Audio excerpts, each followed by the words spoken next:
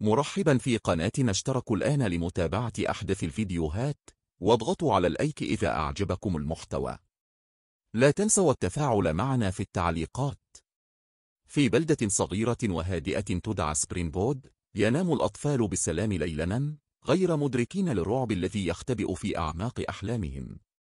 كانت البلدة تبدو عادية لكن هناك سرا مظلما دفينا يتعلق بقاتل أطفال سابق يدعى فريدي كروغر في السبعينيات كان فريدي كروبر عامل صيانة في إحدى المدارس المحلية.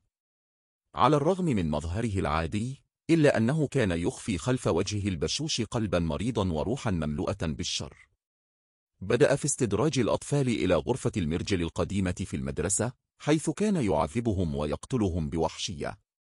بعد اختفاء عدة أطفال بدأت الشكوك تحوم حوله. تمكنت الشرطة في النهاية من القبض على فريدي كروبر ولكن بفضل خطأ فني في الإجراءات القانونية تم الإفراج عنه.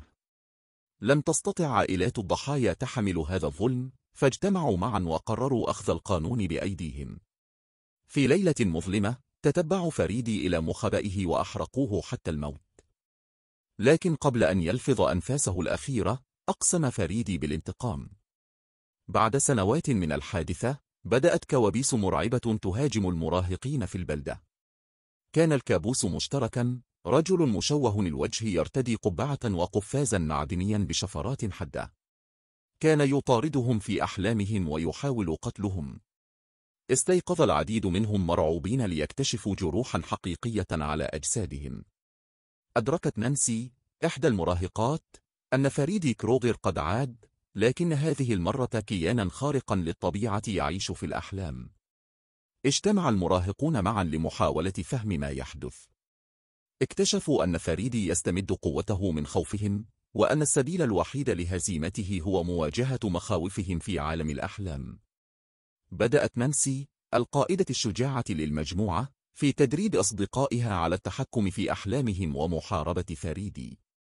كانوا يعلمون أن المواجهة الأخيرة ستكون في عالم الأحلام حيث يمتلك فريدي كل القوة. في ليلة المواجهة دخلت نانسي وأصدقاؤها في نوم عميق مستعدين لمواجهة فريدي. كانت المعركة شرسة ومليئة بالرعب لكن بفضل شجاعتهم وإيمانهم بأنفسهم تمكنوا من إضعاف فريدي. في النهاية استطاعت نانسي أن تدرك أن فريدي يستمد قوته من الاعتراف بوجوده.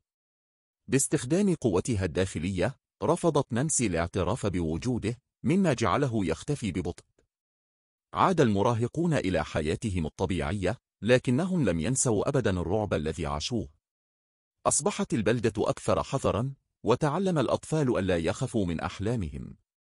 ومع ذلك ظل فريدي كروغر في زاوية مظلمة من عقولهم كذكرى للتحذير من أن الشر قد يعود في أي لحظة إذا سمحوا له بالسيطرة على خوفهم.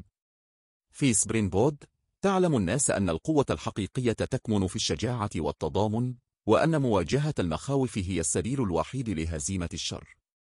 ومع مرور الوقت اندملت جراحهم لكن القصة الحقيقية لفريدي كروغر ظلت تروى كتحذير للأجيال القادمة لا تدعوا الخوف يسيطر عليكم. فالشر يستمد قوته من ضعفكم. شكرا لمشاهدتكم.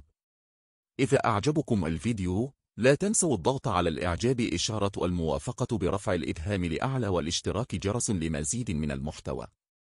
شاركونا آراءكم في التعليقات ونحن نحب أن نسمع منكم. إلى اللقاء في الفيديو القادم.